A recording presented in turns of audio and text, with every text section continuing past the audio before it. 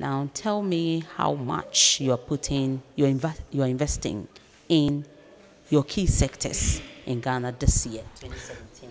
Actually, let me start with the extractive industry governance sector, where we are investing uh, a little over 2 million Ghana cedis in our investments within the area to cover aspects of work around legal and policy issues around extractives, but issues around beneficial ownership, community consultations, work around reducing the effects of adverse uh, economic, social, or environmental impact on the communities as well. Okay, so that's for the extractive industry. How about gender? Uh, we in gender, uh, they are all part of what we call the enhancing uh, social services in the country, where work around education, health, and also broader inequality is a team. We're investing a little over 4 million Ghana cedis in these sectors. And it covers such work around our work in health, as I said, our work in education. But you know that some of the challenges we have in inequality are around women or girls' participation in education, but also the access that women have to maternal and child care, which has implications on the equality issues around a particular team. Okay, um, I know you have you're doing more of advocacy. Yes, yes, yes. What else are you doing aside advocacy, which I know in these sectors? For which reason you're investing?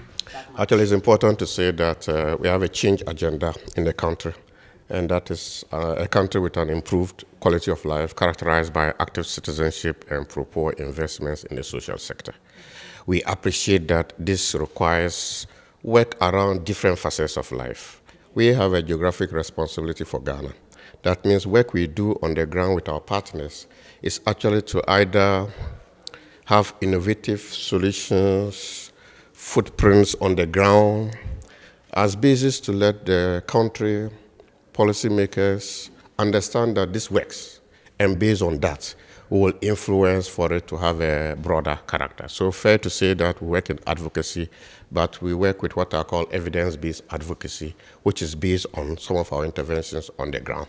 We're also conscious that some of the challenges we face in Ghana are actually beyond the boundaries of Ghana.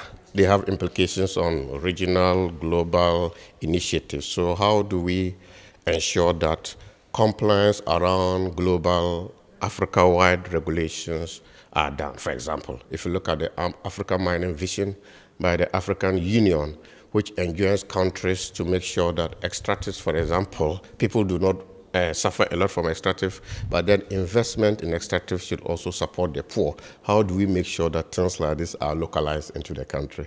Okay. Now, I know one of the key areas which is dear to Oxfam mm. is agriculture. Yes, yes, yes. What, how much are you putting in there to, and which areas is that going to cover? We are, we are, we are investing in the economic, we call it the economic justice and agricultural governance portfolio. We are actually investing 4.7 million Ghana cedis in work. That's the highest in all the four Yes, it is the highest in all the sectors. And it is the highest in the sector because the agricultural challenges in the country are high. That is also the area that the youth participate.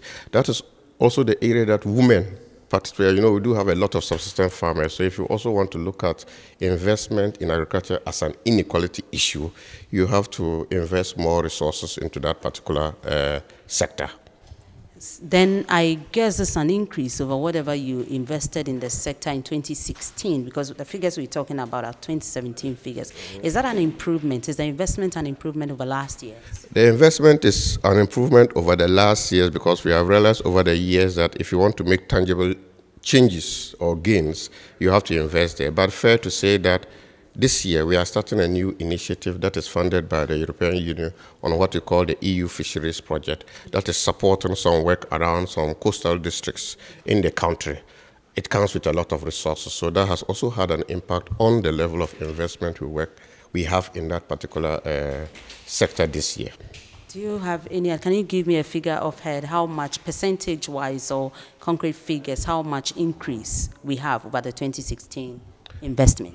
I mean, it's between 30 to 40 percent increase. I should, I should tell. It is, but as I told you, it is a result of uh, the successes we had in raising some resources from the European Commission, which was also uh, uh, uh based on uh, our work. Then also we had a, a project actually called the Systems Innovation for Women's Economic Empowerment. We got resources from that sector as well to start this year, and that has also increased the portfolio of investment we have in the agri sector.